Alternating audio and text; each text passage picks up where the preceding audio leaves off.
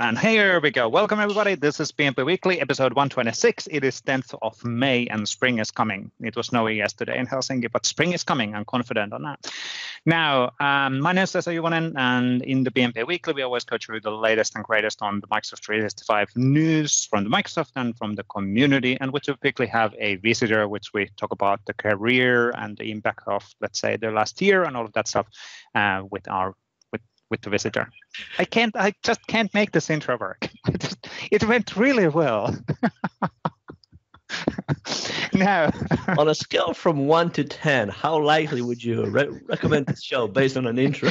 yes, but it started really well. Now, okay, so let's, does, right? so let, let's do a quick intro. So, my name is Vesa Juvonen. I'm a program manager in my Microsoft 365 platform side, and with me as a co-host is Waldek. Let's show it to you. But it went really well, didn't it? My name is Waldek Mastykarz, and I am cloud developer advocate for Microsoft 365 at Microsoft. And as Vesa already said, today with us is a guest yes. from the US, one of our MVPs, D'arce Hess. Good morning, D'arce. Good morning. Good morning. Good to have you here. Uh, can you do a quick intro? Who are you and what do you do? And where you're based? In the US uh, is a quite big, sure. big state. Uh, so I'm D'arce. Um, I'm based out of Rhode Island in the United States. Um, if you don't know where that is, think of Boston and go south about 45 minutes. I have been in the SharePoint and Microsoft 365 world for about 12 years now. Gosh, time flies. Um, and I specialize more on the UI UX side of the world, um, information architecture, and user adoption piece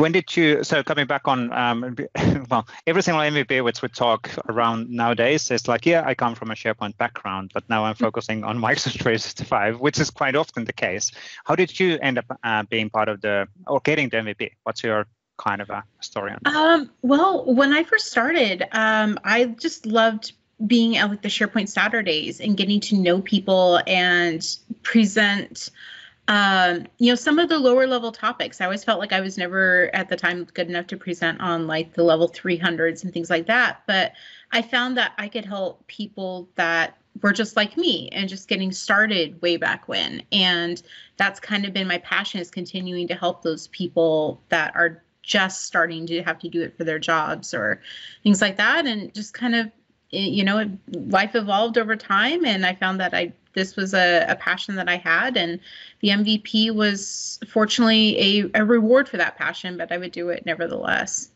Yeah, you've been doing quite a lot of blocking and and then presentations whenever that was possible. Nowadays, we're still in this. Now we're in the virtual world. it's world. still possible. well, it's, it's still possible. possible. It's yeah. just different. Yeah, it's different. It's quite different. There's a conference every single day, apparently. So there is there is you know teams fatigue for sure. Yes, yeah, yes exactly exactly but uh, nothing taken away from the, any of the conferences which are being organized but uh, it's it's one of those things we're seeing a massive uptake on the remote uh, conferences for sure and then i think people are getting tired of of having these meetings even though it's great to see people but still it, it'll it'll come around hopefully i mean things are are hopefully starting to get better in a lot of places and hopefully things will continue to improve over the next yeah. few months and years. So I we'll got be- even my my first vaccine uh, scheduled today. So it is not today, Good but on Saturday you. this week. So at least in certain parts of Europe, this is already getting to the right. Sorry, Waldek. not in this part of, of, of, of Europe now. We'll keep our fingers crossed for you, man. yeah. Yeah. so, later. So. Yeah. Apparently, like my my turn will be at the end of June. Mm-hmm. Okay. So and then the second okay anyway anyway sorry. Sorry. Not, not necessarily a super funny thing but hey uh, things necessary. are i mean it is important stuff right? Yeah absolutely. Absolutely. Now uh, D'arce uh, let's let's talk about slightly your history. So how did you end up actually being in it what was the well how did you from school directly were you in, uh, interested in it or was there something else? Yeah, so it was, I never had an interest in IT at all, actually. Like, I went to school for music, I was a professional musician, I taught high school band. Um, like, I loved being a teacher, and, and music was my passion. And um, in the United States, it's it's kind of a, a really complicated topic to be on because I I was in a district that was losing funding, and um, the school that I taught at unfortunately lost funding to continue having a music program. So I found myself being a highly educated person in my field without a job, and right. so um, like many other people, um, I I had a friend who was the at the time the director of IT at a major university in California, and he was like, "Hey, if you go learn how to do this thing called SharePoint, I will give you a job." And I went, "A oh. job sounds amazing." so I it was back um the late SharePoint 2007, early 2010 days, and um. I spent four months with a laptop and a sandbox playing around in the engineering library of UC Davis, trying to learn everything I could about SharePoint. And funny enough, I never actually ended up working with him, but he now actually works for Microsoft in the Azure space. so it's, uh, it's it's kind of funny how you know we we evolve over time, and you know as my skill set evolved, more opportunities um, you know evolved, and there was a lot of people from the community that really helped my career over, over time and and saw the the positives that could come out of it. Yeah. And then you you started focusing directly on the UX and the end user side of the house, or or mm-hmm. how, how did that that was not from a day one? Or? Yeah, I did. So um, it was it was really funny. Another MVP, um, Eric Overfield, had a UI UX company based out of the little town in California I lived in. And he was kind of the first person to, um, way back when, you know, give me an opportunity to really be in the SharePoint space, not just trying to do it on my own and learn. So it was kind of a natural progression. And I love design, I love art, and, um, you know, that creative side. And so it was kind of the perfect opportunity to apply a passion of mine directly into the tech space in an area I felt comfortable in. So, yeah. And that was probably then custom master pages and CSS and, and making oh, the SharePoint not look like SharePoint. The, pu- the public facing websites. exactly, yes. exactly. Yes, now we're I talking. Think we, all of us three have been there. So. yep, I, I remember building all of those and wondering what all this code was. And this is back of the day where, you know, my boyfriend at the time was like the, you know, IT guy at the university. So it was kind of like, you know, honey, can you help me set up my computer so that I can go do all this other stuff? We've all evolved since then. yeah. Goodness. Yeah. But, but so so the one thing I wonder about is like you've been around since you said late 2007, early 2010. Mm-hmm. How how do you see evolving SharePoint UX and UI from there until now because like many things have changed. Like we do things differently things work differently they look differently. How do you see it? So i think there's a lot of good things that have come with changes over the years. Um, and obviously there's a lot of bad habits that we got into that we've had to break or figure out different ways to do it. Um, i like that there's a lot more consistency in things now, but it's really difficult because in a lot of clients, really the person who's driving the look and feel of the internet comes from marketing or comes from communications, and they are looking at public facing websites for examples of what they love because you know obviously intranets are not you know viewable by the general public. So it's it's a really tough conversation to go okay i see what you're what outcome you're trying to achieve let's go talk about the different ways we can try to get there. And um, a lot of the design that i do nowadays isn't so much designing pages but it's trying to design those custom experiences that fill a business process.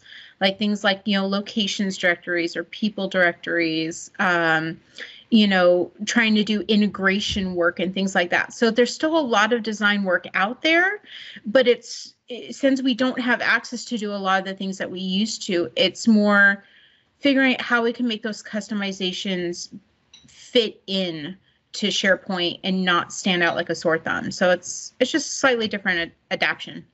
Yeah. How, how are you actually saying the big push of also on the team side? So are you seeing more uh, also teams related work for you, or or is it still on a SharePoint, or what, what's the demand from a for for your customer? Funny enough, most of my demand from customers is not Teams um, because I think they all just kind of picked it up and I think my my team's work will really come in the next year once like the fire hydrants turn off and they were you know they're trying to actually yeah. Get their business models back. I think everybody just turned teams on in an effort to get through the pandemic and they'll go through and do the cleanup and governance and all that stuff later. Uh, you know, we all kind of know how that one happens. Um, right. Most of my my recent work, a lot of it has actually been migrations from like Box to SharePoint. Yep. Um, and like terabytes of data that have to be re-architected and brought in. So, um, yeah, it's it's a slightly different focus than what I would thought it would be. It's it's kind of interesting. Yeah, but it is an interesting thing, right? Because like like like you said, demands very much come and go in in waves and they're driven by what's going on around us right so even though like you might be an expert in ui ux but people need this thing. And then you already see that in a while they will need to clean things up reorganize re-architect things where so there will be more shift on ia as opposed to ux and ui right? So it's like it's very much seasonal work in a way. It is. And the interesting thing with Teams is that Teams has done an amazing job at branding and having their own voice, especially in the community and with clients and partners. However, I think like one of the really important messages that's getting lost is that great, you have Teams. Guess what? You also have OneDrive. You also have SharePoint as a result of that. And I feel like a lot of that messaging is getting lost um, and that people are signing up for teams and not not understanding really how everything is integrated. And that actually i think causes more problems because um, you know people are like I, I just want teams. I don't want any sharepoint. And i'm like that's not actually how it's going to work. Yeah. what? It's all sharepoint? Always was. It's uh I gotta hand it to Teams. Amazing marketing, but it's it's uh it's a little bit interesting, you know, on, on the reality side sometimes. so so what's your bet or prediction then on the Microsoft Viva connection side of the house now that we're getting it more visible for, so, for customers? I think Viva has tremendous opportunity, but I think it's also one of those with great power comes great responsibility. Yeah. We saw when Delve originally came out, and Delve was kind of the first area where Microsoft tried to put the discovery of content and people together. And it scared people because all of this information started to boil to the top without context and without users understanding that there's security around that and that you only see things like it caused a lot of harm because okay. people didn't understand um, and it's my it's my fervent wish that as viva starts rolling out is that it's going to start bringing a lot of things to the surface just like delve did way back when but in a much more powerful way that can impact a business a lot faster and for both positive and negative. So I think it'll it'll be a mix of you know making sure that governance and guidance are in place and change management's in place to be able to handle rolling out Viva, as well as understanding all the integration points. I think you're t- I think companies that are going to be the ones that roll out Viva, like the major Fortune 500 companies and up, um, are going to need a really strong technical team to be able to do the backside of Viva and make sure that it's going to perform and be able to be tuned to to the business.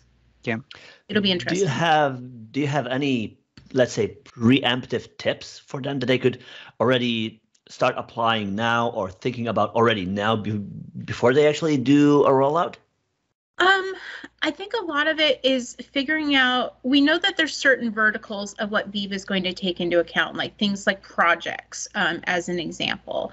Understanding what projects you want to be discovered or known in the in the industry or in your in your tenant are going to be really important. Understanding what those verticals and topics and things like that are and pre-planning them now would probably be a really good idea because that way if you choose to turn it on and do a pilot or start working with it, um, you already are going to understand what are those major pieces you want to be shown and can tune it for that. And then also some of those things that maybe aren't right, and you know you're going to have to change the descriptions on the topic cards and you know pages and things like that. I think it's start understanding what you what content you have and what's important now Yeah. which is always actually super super super valuable of having a clear understanding how your platform is being used and who's using that and what the content is there so for sure so and that comes back on the governance planning which is super super important for sure yep and it can't be it doing it yeah, well, I think yeah. So they, uh, they, well, but I guess that like probably they have their own governance to do, right? Their own like they need to have inventory of their machines, computers, and systems and access and whatnot. But then there's everything else that it's not related to IT that shouldn't be done by them, right? Exactly. Yep. It's it's got to be a partnership, and I think a lot of companies right now are struggling with that. So it'll be interesting to kind of see how it goes. I'm I'm excited and yet terrified at the same time. so coming back on something what you said, because this is something we talked with Waldek quite a few times related on on the adoption of teams and, and what you're seeing from your side of the, your region related on the customers that basically everybody was forced to just enable the teams and didn't have a time really think through what does it mean and the chase manager and everything else and just deal with it. Um, and that's probably something what we can then see that uh, for example adaptation of the extensibility models and solution integration and everything else. Um, mm-hmm. it's growing but it's not like over the roof yet. Um, is that um, uh, hmm, how, how would it be your kind of a prediction or do you have any thoughts on when or on when will the, the maturity model be more mature? when will August be the customer? 23. Uh, August 23. will it happen this year, or or what's the what's the uh, kind of a, what are you saying with customers for the extensibility story, or as an example of, on Teams? Okay. Yes. So I think there's a lot of things coming with extensibility that are really great. Like I, I love the idea of being able to bring in the cards, um, the adaptive cards to do things. I think a lot of organizations are still trying to figure out what should belong in Teams and what experiences belong there versus what experiences belong in their more traditional intranets and SharePoint, um, and trying to bring those together. I think Viva will do a little bit of that, um, hopefully, but I think the biggest part is people don't want to go to several different places for content. And right now, I think the biggest driver of that is the fact that too many organizations that I've worked with are saying Teams is for communication only, right? It's it's your meetings. It is basically like your replacement for Skype, and that's it. Like they're not really utilizing Teams for the content and the yeah. collaboration piece. They're trying to use it solely as your chat client, um, which kind of does teams a disservice. But that's how like a lot of business are trying to compartmentalize where their services lie. Um, yeah. And I think it scares them, you know, when things are very hybrid and cross-platform um, to create a cohesive experience. I think it's just a lot of businesses aren't there yet. Um, so I think the the platform is going to get there long before the businesses are ready for it, which I think as a result is going to return in a lot of IT departments saying turn this off or we don't want this yet because we're not prepared to have those conversations. So I don't know. I think it I think it'll be interesting. I think the developer community is really strong and there's a lot of great things coming out of it. I just don't know that a whole lot of businesses are ready for it yet. And yeah. I think until the pandemic and everything else like that really calms down and businesses can start refocusing internally on on those things, um, it might be delayed a little bit as far as maturity makes makes perfect sense. Um, something what we're saying here and there as well. It's a massive opportunity. Uh, also, we want to help people to adapt the platform, but um, there's there's a different opinions, and the maturity level in country and regional level is different. In certain countries, people are more advanced, and then in certain countries they're not, which is or in regions, uh, big big differences. Now, coming back on a, a, completely different topic before we go to the articles. Now, you are a good example of a, sorry, uh, so changing topics while so you're a good example of a, a successful ID woman or a, a woman. What, how, any any tips related on uh, or what's your experience related on the community which we have on the Microsoft 365, and any tips for anybody who would be looking into uh, coming to IT? Um, I think the biggest thing is find a champion. Find someone who's going to be in your corner and be willing to not see what you know today, but see what you're capable of learning, um, and who can help champion you towards, you know, better projects or being in the community. Um, the community itself is kind of its own interesting animal. Um, we've all been a part of it for a long time, and it, like any community, there's both good and bad things that can come yeah. out of it. So I think a lot of it is making sure you stay true to yourself. You know, write because you enjoy writing. You know, blog, do whatever you enjoy in the community because you love it. If you're if you're trying to use it for like affirmation or to to try to have a better sense of self, um, it's not going to happen. That's not a good way to look for it. Yeah. Um, so it's it's a lot of more of you know keep keep your friends really close and you know help each other out, um, but make sure that you're comfortable in your own skin a little bit.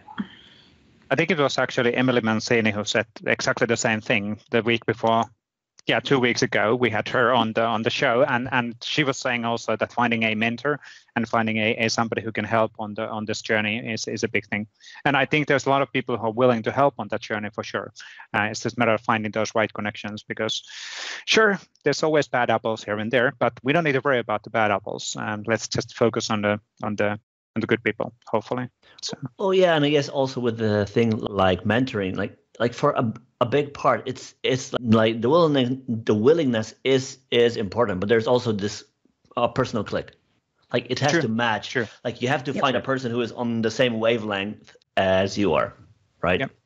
mm-hmm.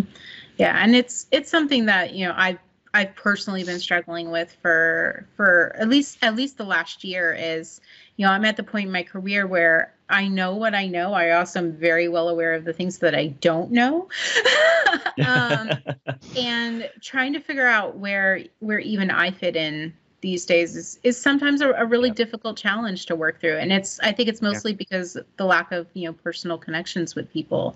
Everything is very you know 10 minute you know teams calls and, and run so yeah, yeah. Yeah. It is it is it's very much that oh so we talked about community. We talked about ux career. We talked about many things. There's but there's we we talked even about about the music but there's one thing that we didn't talk about yet. Oh good point. Yes. Archery. Archery. You have passion for archery right? You are a pro. Is that is that the right way to say it? Uh, i am a professional archer um, and i've i've been um, on the pro circuit for about 13 or 14 years. Um, i've competed in world championships pan american games. I was an olympic alternate. Um, and i actually um, just switched back to Olympic style and am, am hoping to see if I can make a run for Paris in 2024 Olympics. So wow. we we will see what happens. Um, I actually just got back from our a second national competition yesterday night um, in Florida, and um, it's it's kind of feel like you're you know you're starting at the bottom of a very long ladder to try to work your way back up in another style again, but it's something I, I absolutely love. Um, and I'm really glad to be able to get back to it, but it's it's kind of really scary getting on planes right now to travel and knowing sure. that if you don't, you know, that last 20 years worth of work could go down the drain. So it's it's kind of a fine balance at the moment. Um, but yeah, no, I, it's absolutely amazing, and I can't wait till I get to go teach my youth groups and stuff again, and you know, have that community back. It'll be fun. yeah. That's really really cool. Now, uh, should we do some articles and then we'll do let's do some just let's, a, let's a discussion in the end. Let's let's run through some articles. Not that many actually articles from Microsoft this week, uh, which is every now and then the, the, there's massive difference between the weeks. But hey, it is what it is from last week uh, from Nicole Woon and, and Holland uh, use SharePoint as a new uh, site template, uh, which is now available as an for out of the box templates. And so there's work being done also for third party and custom templates. And this is something which we basically well, it, it originates from the SharePoint lookbook, uh, and now some of those templates are kind of getting uh, graduated to be part of the product, which is actually kind of cool. Really? Um, so we're and we're looking into doing this kind of a similar model in the future as well. So testing out templates in the lookbook, and then those who are good enough or they're being used the most, uh, then they're getting graduated on the on the product as well.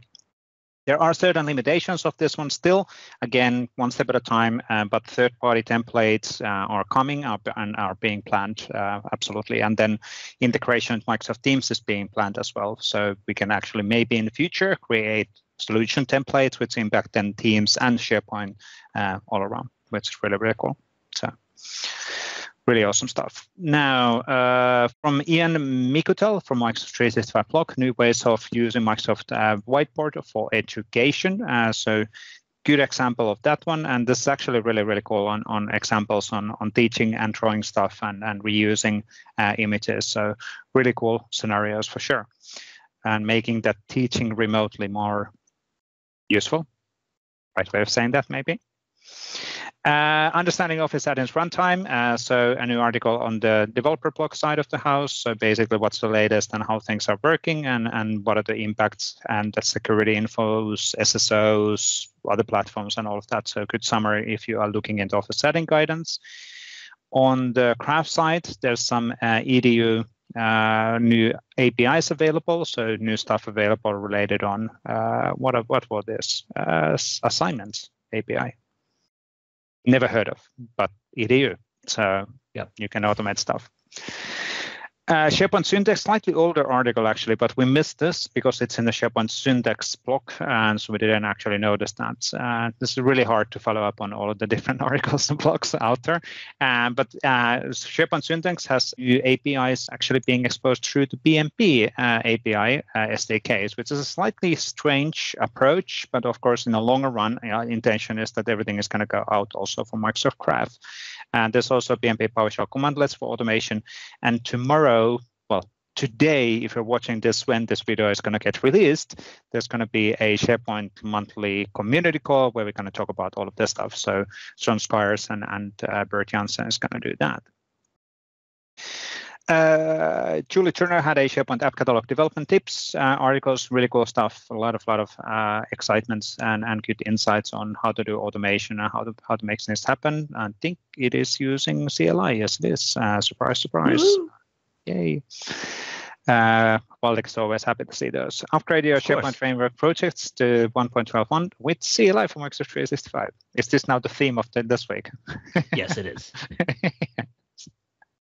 but basically, how do you update to the latest version? And the CLI is is always helping there. It is absolutely de- it provides a detailed step-by-step guidance on how to get started on doing things. So really, really cool stuff.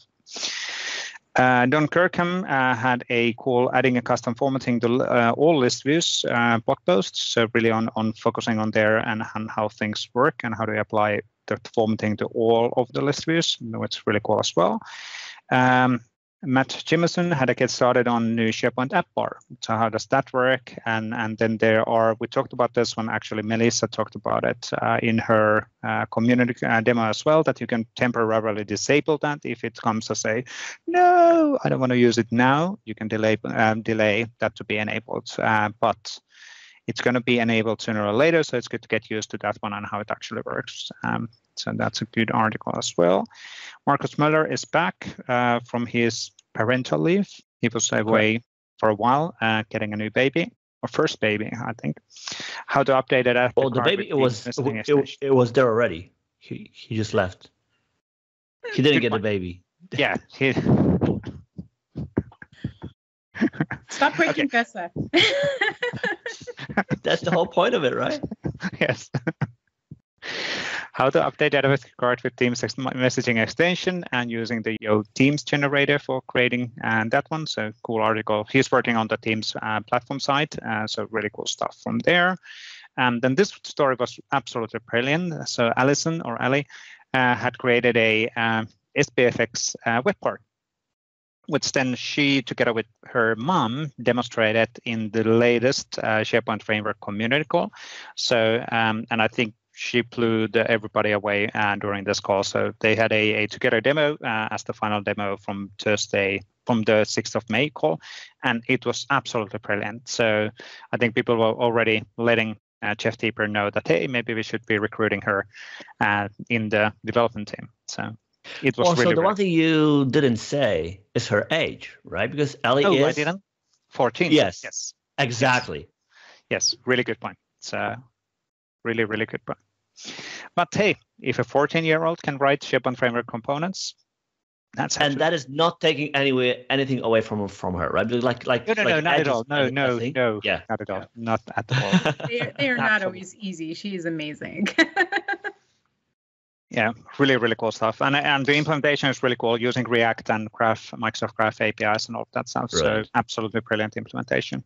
And for anybody who's interested, have a look on the the uh, the recording from last week. This was absolutely brilliant. So there was two other demos, by the way, which was really, really good as well. So Luis and Mohammed had a two awesome demos as well. But then Alison really blew everybody away as the last demo.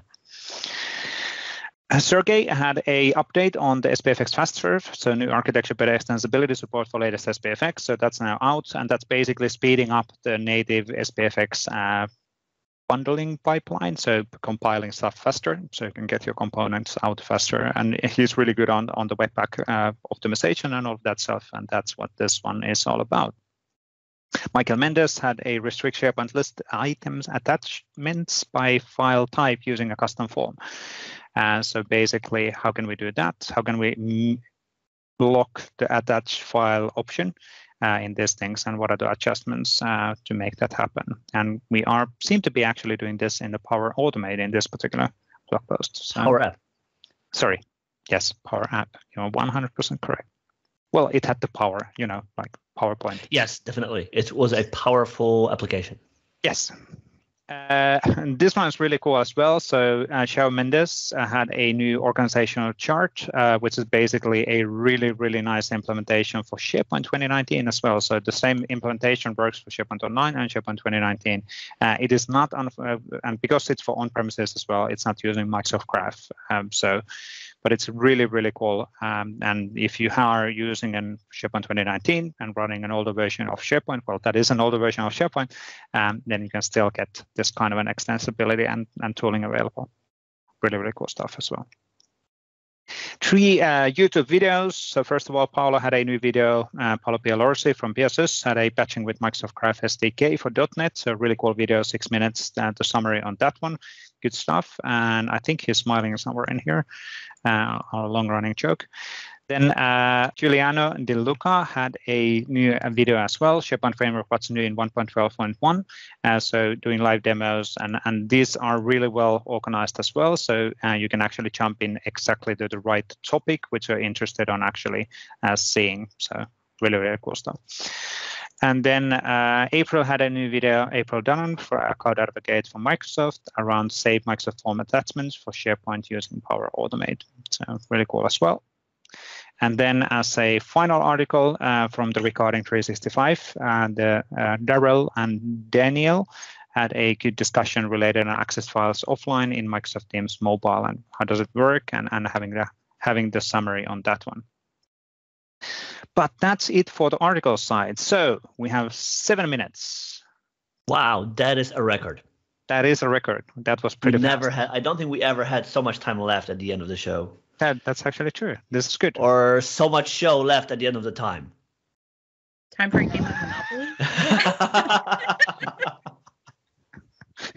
Developer Oh. Jenga. Here we go.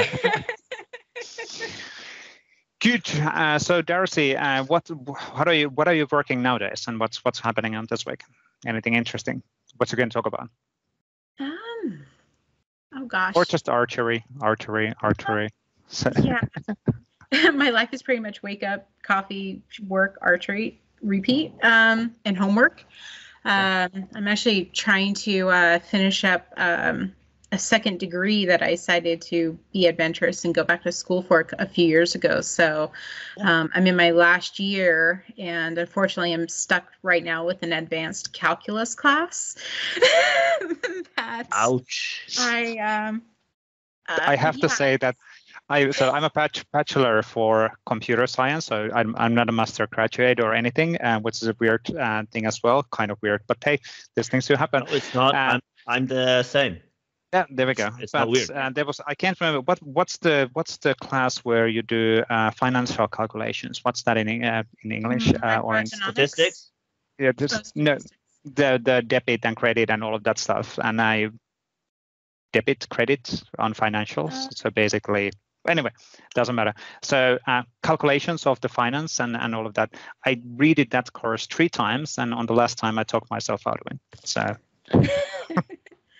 Yeah, I've got that, and then I also have a um, mobile app development class. So that one's actually kind of cool. fun. I got to Power create my first uh, Android app yesterday, Oh, and Android. um, yeah, it's Android and iOS development. But it's it's kind of interesting because I've always wondered in how some of those things were created and how they kind of came to be, and it's Yep. kind of interesting to get very much a high level view of it because you never really do anything like completely useful in school.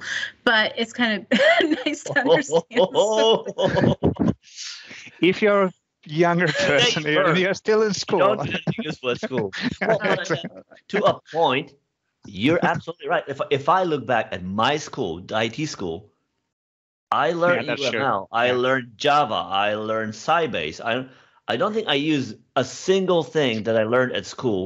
but it broadens your view, right? So it broadens like like understanding how Hey, Ant- there are some Android applications never are, use.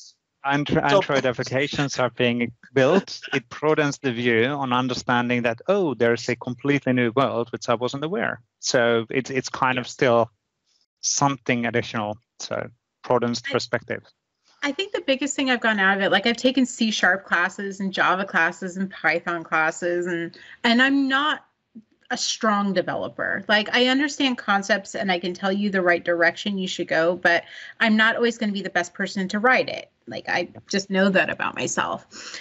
Um, but it's really interesting working in the IT field and then going back for an IT degree in this case because you see all these things that schools teaching that is actually incorrect or outdated um, or we don't do that anymore and here's the 10 reasons why kind of thing. Um, it was it's been kind of an interesting journey of like all right how do you how do you take what you learn and actually apply it to the real world versus you know trying to look back through the looking glass a little bit? So well we will see. I've got you know eight months left of this torture and then um, another you know 15 month um, mba program. And then i'm like then i'm done like done So you think I want my now. nights So you think now. By then you'll be like, oh, I'm done. What can I do next? Yeah, and and well, there's not nothing is gonna nothing is gonna actually make it impossible to start studying when you're older. So it's completely fine. Why not? So uh, I, I think student loans Yeah. I- you guys don't have those in europe Or in yeah, but like that that is the debit and credit, right? So Vesa is not the right person to talk to about it. yes. I'm borrowing from my kids' lunch money. Um, future kids' lunch. No, I, Yeah. I think it. I think it's good. Um, you know, we'll we'll see. I've got you know, it was great. Actually, like the best class I took was actually a database class because I've never really had to work with databases. So being able to learn how to do them, how to do queries, how to actually like, you know, architect um, a database was something I found that was like really useful that I didn't know how to do and. I always kind of felt like the dumb person sitting in meetings when someone was talking about primary and secondary keys, and me going, "What the hell is that?" So But again, Yes. you know, Even it's, that- it's kind of helpful sometimes. yeah, but there's also another interesting thing, right? Like at school, they teach you like all the let's say the right way to do things, and then reality goes like, no, no, no. Like you don't want to denormalize the database because performance-wise, you actually might Yeah. want to replicate some stuff. Like, Yeah. but but but they say always always academically, No, no, it might have been the right way to do, and and then you Exactly. denormalize the date to be its own table or something like that, because we've seen yeah, that, and that then classic you as well. learn about Cube and data warehousing, and that, and that's a totally different game. It's like no, Yes. no, like we build our database differently because we need to do, be able to do analysis on them. And you're like, I know nothing. I basically think of something and then I call Ervin and go, Ervin, what do you think? And he's like, What the heck are you thinking? I'm like, Don't- okay, got it. One, one thing that it, that that is still still true do not use a GUID as your primary key. No. That is still a bad idea, even after all these years. or put your permissions like actually in the development. Yeah. We have some- Anyway, anyway, so okay, that's happening this week. What about you, Waldek? what?